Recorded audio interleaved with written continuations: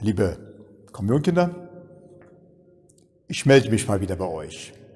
Ich grüße euch herzlich, auch im Namen von Pfarrer Blockmann, Pfarrer Butle und die pastoralen Mitarbeiterinnen. Ja, in der nächsten Woche geht es für manche wieder los. Ihr dürft wieder in die Schule. Ihr dürft. Manche freuen sich darauf, dass sie wieder in die Schule können. In vergangenen Wochen habe ich manchmal einige von euch getroffen und habe gefragt, wie ist das so? Seid ihr froh, nicht in die Schule zu müssen? Und manche sagten mir, ach, ich würde gern wieder in die Schule gehen. Ich freue mich darauf, auch meine Freundinnen und Freunde wieder zu treffen. Es geht wieder los, für kurze Zeit. Alles ist anders. Alles ist schwieriger, deswegen konnte auch eine Erstkommunion gefeiert werden. Aber wir wünschen euch, dass ihr gut anfangt, dass ihr mutig euren Weg geht. Übrigens, ich stehe hier bei einer Frau, die in der nächsten Woche ihren 200. Geburtstag feiert. Katharina Kasper.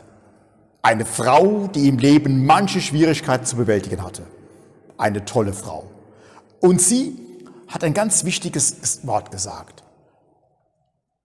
Nur mutig und mit großem Gottvertrauen nach vorn schauen. Und das wünsche ich euch.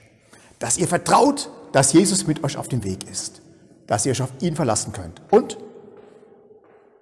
dass ihr mutig euren Weg geht.